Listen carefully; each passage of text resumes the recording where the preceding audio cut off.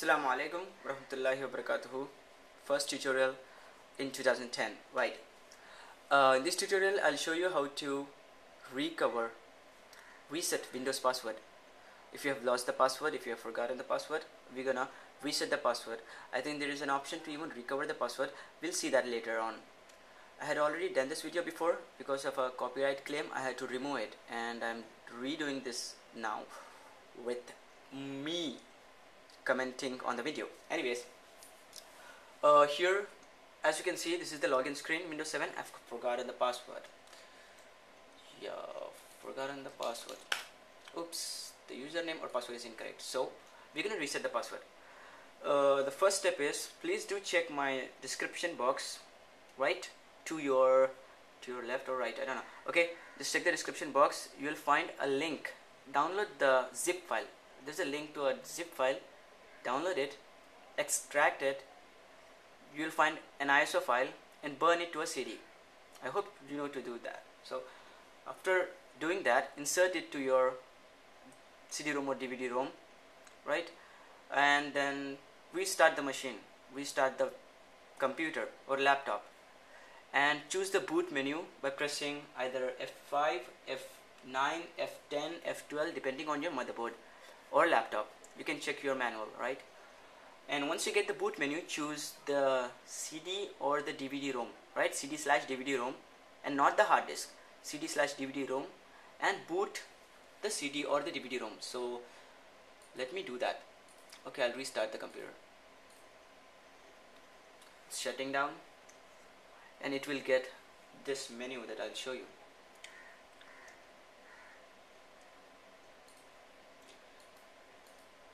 yeah I got this. Oh oops just hold on. Yeah I hope you can read this. Right? This will this is the menu that you'll get once you boot.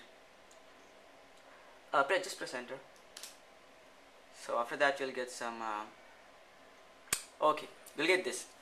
Uh, step 1 select disk where the Windows installation is. So you have to select that if you have if you have like multiple hard drives and if you have installed Windows on not the first disk but the second disk then you have to choose the second disk. Right now I have only one hard drive and I've got two partitions. The first partition says uh, the first partition is around 100 MB the second partition is around 10 GB and I have probably installed Windows 7 on the second partition not the first partition. So it depend de depending on the way you have installed the operating system you have to choose your the partition where you have installed the operating system and you have to know where you have installed it. I've installed it on the second partition. Maybe you have installed it on the first partition itself. So you have to choose one if it is the first partition. Because I have installed on the second partition I will be using I'll be pressing 2 so yes 2 okay success now the step 2 select path and registry files. I haven't installed on the other or what do you say a new directory. I have installed on the default directories directory itself. So I'll be just pressing enter. If you did a default installation just press enter. This is the step 2 just press enter. Okay after that step 2 uh, it is asking me select which part of the registry to load. Use predefined choices. One password reset okay. Or list the files with space as delimiter. I would recommend you to just press 1 just press the default number 1 and press enter. Fine. And now we are in the CHNTPW main interactive menu. Over here if you are following me.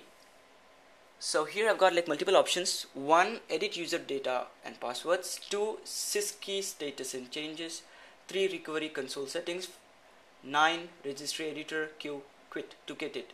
So I'll be choosing the first option. Right? One. Because I want to edit user data and passwords. Press 1 again.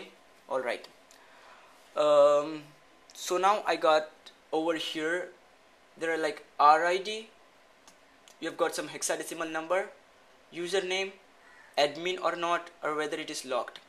So administrator it is locked. And my username n3hd it's locked. So either you can type this hexadecimal like either you can type this 0x RID number 0x03ed or you can type the username. I think it will be better if you type the username. So just type n3hd I mean I have I'm typing n3hd because that's my username. Enter. Now I get this. Alright user is a member of uh, one group that is administrator. User edit menu. First it is telling me giving me five options over here. One clear user password. Blanket. Two edit. Set new user password. Okay.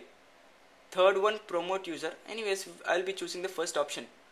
Clear user password. So I have to choose one and press enter. So it says password has been cleared. Select. Now if you want to choose another user okay if you have like multiple users not just one maybe one two three four five now you can choose the other user administrator for example or maybe the third user. Anyways I'm done with this so I'll be selecting quit.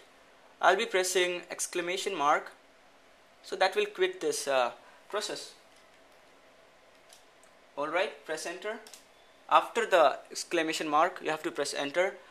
Now it is telling uh, taking me back to the old menu. As I've done with clearing the password I'll be choosing pressing Q to quit this process. Q again press enter. Now the step 4 this is very important. Um, it says writing back changes about to write files back. Do it or no? The default option is no so don't press enter. You have to press y first because we want to write the changes.